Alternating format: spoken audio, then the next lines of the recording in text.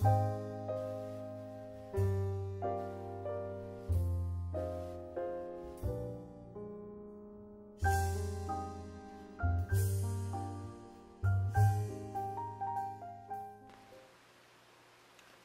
guys, this is Charm again, and I'm not getting really good lighting over here, but these are some of my hot processed olive oil with a little bit of coconut oil uh, soap, and these are ready to go. I made these for the people out at Old Farts Farm.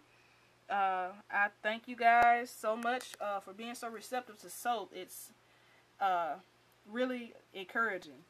So I made these anybody that gets any soap from me, they get a free bar of these. And I have some more to make, but they say thank you so much. And I just wanted to make this for you guys. And I will see you again on the farm meeting. Alright. Later.